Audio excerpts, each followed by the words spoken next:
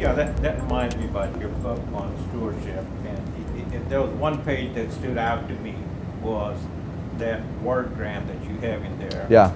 And for those who've seen the book. That was yours. That was the CFA Institute's. that's why it that's why it stood out. and basically what it is, you know, asking everyone to say, if you had to describe finance in one word, what would that be? And when you look at that diagram, you know, with the size of the word, depending on how often it was repeated, it talks about it being crooks or untrustworthy and so forth. And I think about, you know, I have now a grandson, and I look at him and said, if my grandson, when he gets old enough and comes to me and said, you know, Grandpa, I want to go into this profession, how would I respond? And what you were talking about in terms of Charlie Ellis's book uh, refers to that uh, winning the loser's game.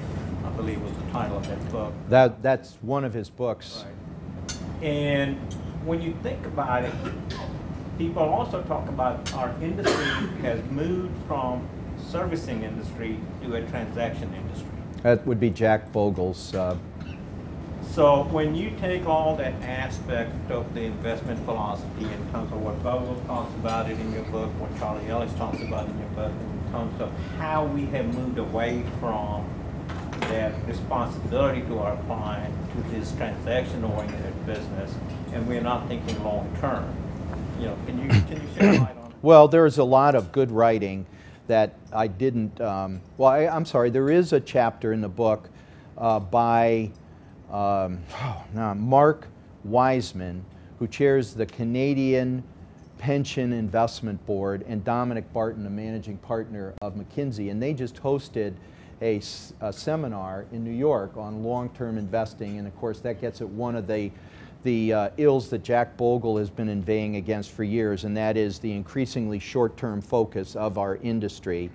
In the book, uh, there's a chapter by Roger Martin, the dean of the Rotman School, where he talks about short-termism in the construct of, of um, executive compensation, which he believes is tied in being tied to relatively recently stock price of the companies that executives work for has created short-term and uh, speculative focus for uh, executives as opposed to real markets long-term focus. I mean, a lot of people are writing about, about all of this.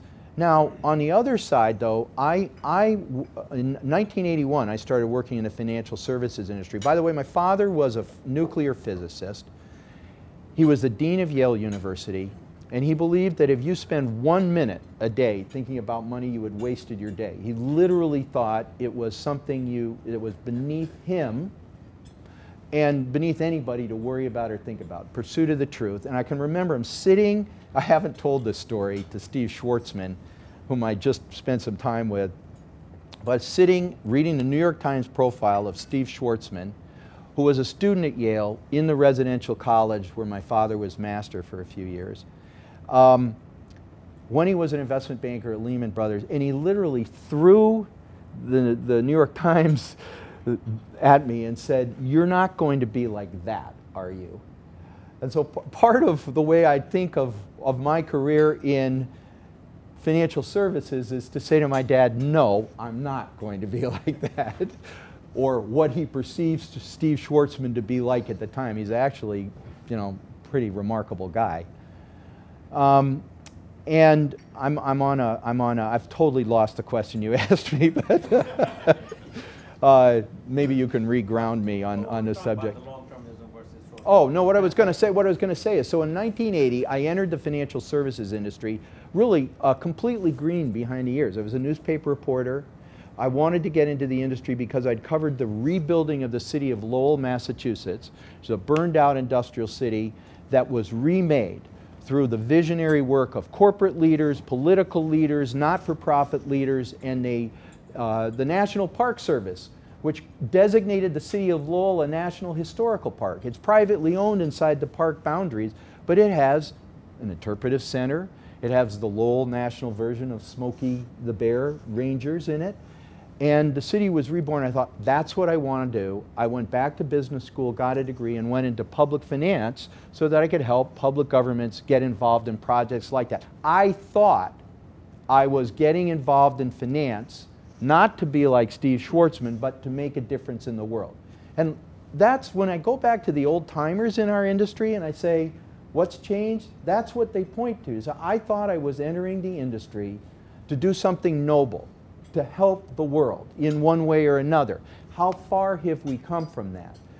On the other hand, if you look at the stockbroker of 1980 and the stockbroker, the wealth manager of today, it is night and day difference. The level of professionalism, the process that person goes through, which is the equivalent today, if they're doing their job right, of taking a patient's discovery before they you know, before you prescribe medicine to them, you actually ask them, have they ever had heart disease, you know, cancer in the family, all of that.